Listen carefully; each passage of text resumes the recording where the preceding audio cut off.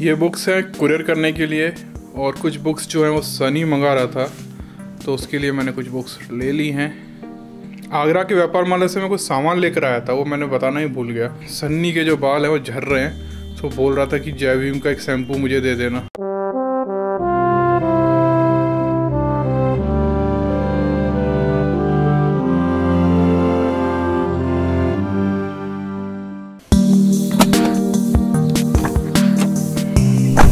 कैसे हैं आप लोग? पिछले वीडियो मैंने आपको बताया था कि एक ज्वाइन बटन जो है यूट्यूब ने हमको दिया है, जो कि एक लाख वाले सब्सक्राइबर वाले चैनल्स को मिलता है, लेकिन हमारे पचास हज़ार भी नहीं हुए थे और हमको वो ऑप्शन दे दिया गया है। और अभी भी हम जो सीख रहे हैं उस बटन के बारे में एक्चुअल में बटन कैसे काम करता है। और हमारी प्लानिंग थी कि एक लाख सब्सक्राइबर पूरे होने के बाद इस ज्वाइन का बटन हम इस्तेमाल करेंगे बुद्धा इस धम्मा की एनिमेटेड सीरीज़ को कंप्लीट करने में। जिनको ये बात नहीं पता, उनको मैं बता दूँ कि हम एक एनिमेटेड सीरीज़ बना रहे थे, जो बाबा साहब ने बुक लिखी है, बुद्धा एंड हिज धम्मा। उसके ऊपर उसके चार एपिसोड हम बना चुके हैं, लेकिन फाइनेंशियल प्रॉब्लम की वजह से हमें उसे रोकना पड़ा था। तो मैंने सोचा था कि एक लाख सब्सक्राइबर पूरे हो जाने के बाद इससे कुछ इनकम आएगी और हम इस एनिमेटेड सीरीज़ को पूरा कर पाएँगे। और अभी भी हम सीख रहे हैं कि ये बटन कैसे काम करेगा। तो अगर कुछ सजेशन है तो आप मुझे प्लीज़ कमेंट में बताइए। और अभी हम जा रहे हैं।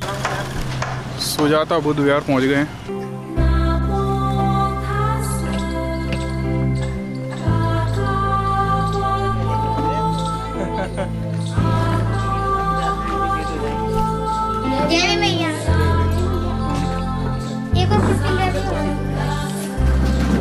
आज सुजाता बुद्ध विहार में हमसे मिलने आए हैं नीरज जी। नीरज जी जो हैं वो एक पेपर चला रहे हैं आज से रात तक।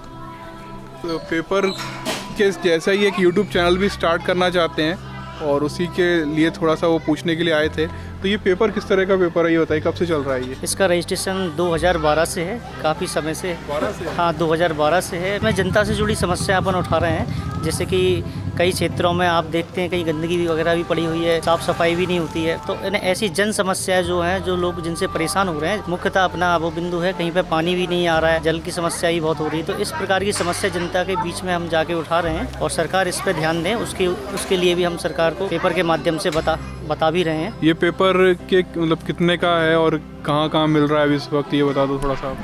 आज से सात तक पेपर से संपर्क करने के लिए मैं इसका कार्यालय का पता बता देता हूँ आपको। C seventy three new Saket Nagar Tansen road mobile number है seven five zero nine three five eight triple three और ये हैं ये हमें कमेंट करते रहते हैं। आकाश, आकाश। आकाश।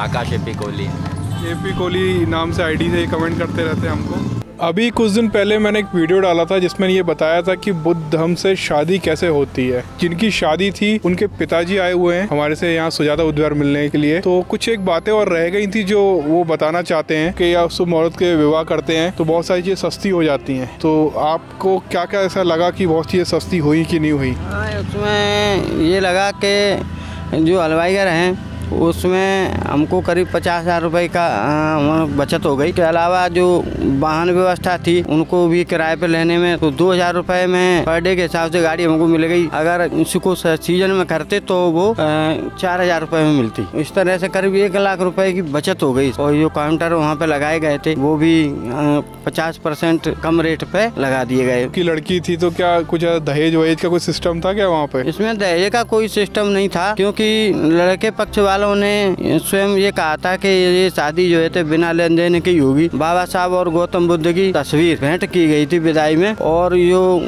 बारात का जो स्वागत किया गया था वो फूलों से किया गया था गुलदस्ते से। तो मतलब जब जैसे जब बारात जाती है वापस तो आप ये कह रहे हैं कि आपने बाबा साहब और बुद्ध के तस्वीरें सारे बारातियों को दिए थे? सभी बारातियों को एक एक, एक तस्वीर भेंट की गई थी। बाबा साहब की तस्वीर गौतम बुद्ध की तस्वीर संसद भवन का फ़ोटो पूरा एक संयुक्त, उसमें फ़ोटो निकाला गया था, उसको स्मृति चिन्ह के रूप में लड़का लड़की के शादी के अवसर पर बरातियों को प्रदान किया गया था और अन्य कोई सामग्री या वस्तु या पैसे नहीं दिए गए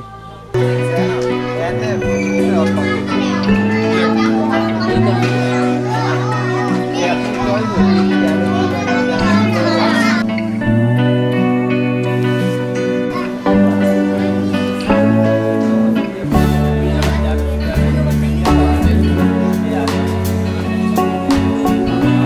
तो बुद्ध विहार जो है ज़्यादातर मुफ़्त शिक्षा के केंद्र बने हुए हैं और इस बुद्ध विहार में भी जो है मुफ़्त शिक्षा दी जाती है। और अभी जो शिक्षा दे रहे थे, उनका एक स्कूल भी है और वो इंग्लिश के टीचर हैं और साइंस पढ़ाते हैं बच्चों को। तो यहाँ भी उन्होंने डिसाइड किया है। सुजाता बुद्ध विहार पे जिस तरह से मैंने लोगों को बुलाया था तो उनमें ये सर भी आए थे और ये, उन्होंने आज से ही डिसाइड किया है कि वो यहाँ पर आके बच्चों को फ्री में इंग्लिश पढ़ाएँगे। तो इससे अच्छा और क्या होगा?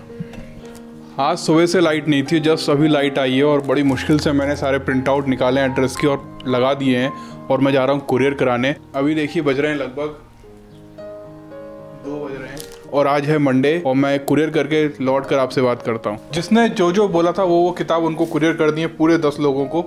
तो आपको जैसे ये किताब मिले। उसके साथ सेल्फी ज़रूर भेजना, ताकि मैं कंफर्म हो जाऊँ कि जिनको मैंने किताब भेजी है, उनको वो किताब मिल गई है। दो तीन इंटरेस्टिंग खबरें भी आई हैं जो मैं आपको बताता हूँ। पहली खबर है, नवादा, बिहार से। वहाँ पर एक परियोजना चलती है, मुख्यमंत्री परिभ्रमण योजना। उसके अंतर्गत 60 सरकारी स्कूल के बच्चों को बोध गया, घुमाने के लिए ले जाया गया। और उनको बताया गया कि बुद्ध किस तरह से इस देश की धरोहर है। और ये बहुत गजब की बात है कि सरकारी स्कूल वाले भी ऐसा काम करते हैं, क्योंकि वहाँ के बहुत से बच्चे जो होते हैं, बहुत गरीब होते हैं, और वो कभी भी इन चीज़ों पर पैसा खर्च नहीं करेंगे। उनको बोध गया, ले जाया गया, और वहाँ पे बुद्ध के बारे में बताया गया तो बहुत अच्छी बात है। बिहार के सीएम जो है वो नीतीश कुमार हैं। और इससे पहले ही मैंने आपको बताया था, उन्हें घोड़ा कटोरा छील पर एक बुद्ध की प्रतिमा बनवा रहे हैं, सत्तर फीट ऊँची। कुछ ऐसा लग रहा है कि नीतीश कुमार जो है, बुद्ध की तरफ़ बढ़ रहे हैं। अब क्या कारण है, अभी मुझे पता नहीं है। अगर आपको पता है तो मुझे कमेंट में ज़रूर बताइएगा। दूसरी खबर आ रही है, खुशीनगर से वहाँ पे अंतर्राष्ट्रीय पर्यटक सीज़न चालू होने वाला है। खुशीनगर वही जगह है जहाँ बुद्ध का महापरिनिर्वाण हुआ था। और एक ऐसी जगह है यहाँ से पूरे वर्ल्ड से लोग आते घूमने के लिए। हो सकता है आपको पता ना हो, इस वजह से मैं बता रहा हूँ। वहाँ के ज्वाइंट मजिस्ट्रेट अभिषेक पांडे है और उनकी देखरेख में नगर पालिका इस पे जुट गई है काम करने। वहाँ हर चीज़ की साफ़ सफ़ाई हो रही है घास वास काट कर सुंदर बनाया जा रहा है। क्योंकि सबसे ज़्यादा जो इनकम होती है, वो अंतर्राष्ट्रीय पर्यटकों से होती है। जो नेक्स्ट बात बताने वाला हूँ, उसको सुनिएगा, उससे आपको समझ आ जाएगा कैसा क्यों होता है।